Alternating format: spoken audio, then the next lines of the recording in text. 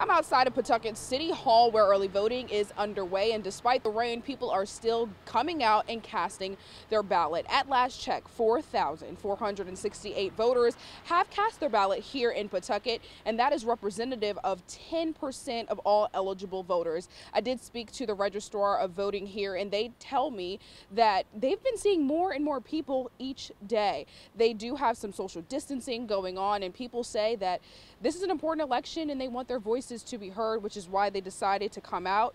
Now, as for wait time, you know, the longest the registrar tells me that voters have had to stand in line is about 30 minutes at the latest. So they are moving people in and out to have this done efficiently, quickly, and effectively.